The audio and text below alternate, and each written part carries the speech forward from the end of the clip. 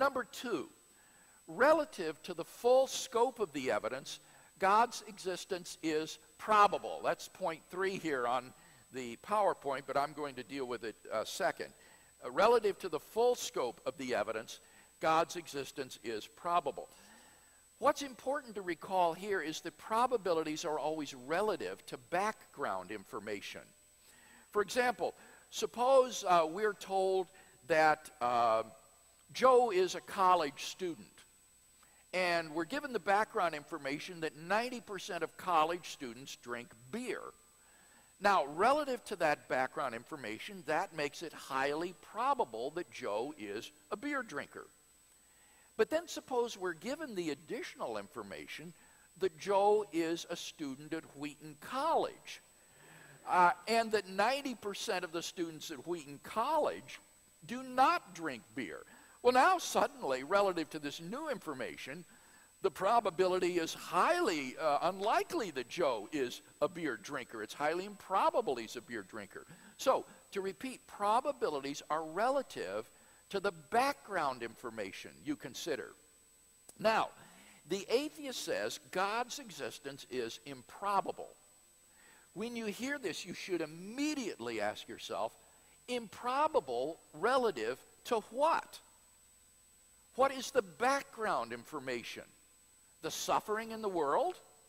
Well, if that's all the background information you consider, then it's hardly unlikely or surprising that God's existence would appear improbable relative to that alone. But that's not really the interesting question, is it? The really interesting question is whether God's existence is probable relative to the full scope of the evidence.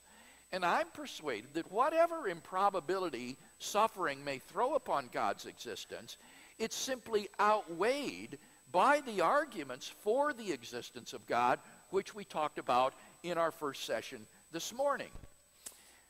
Consider, in particular, the moral argument. Much of the suffering in the world consists of moral evil, evil acts that people freely perpetrate upon one another. But then we can argue as follows if God does not exist, objective moral values do not exist. Premise two evil exists. Three, therefore, objective moral values exist. That is, some things are really evil. Four, therefore, God exists. So there is actually an argument for God from the existence of evil. So at one level, evil calls into question God's existence, but at a deeper level, it actually proves God's existence because in the absence of God, suffering is not really bad. The atheist believes that suffering is bad or ought not to be. And if he thinks that, then he's making moral judgments that he can only make if God exists. So, what you need to understand is that most people who press the problem of suffering in the world are just assuming tacitly that there are no good arguments for God's existence. So the question for them is whether suffering makes atheism probable, given that there's no good reason to think that God exists. But I think there are very weighty arguments for God's existence. And so I think there are good reasons on the other side of the scale that weigh in favor of God. And so I could concede, yes, God's existence is improbable relative to the evil and suffering in the world alone.